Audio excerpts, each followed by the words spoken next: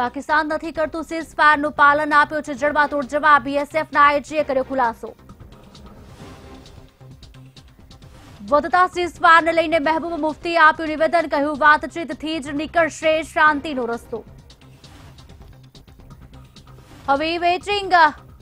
Ticket હશે તો પણ કરી શકાશે મુસાફરી. સુપ્રીમ કોર્ટે રદ કરી રેલવેની અરજી.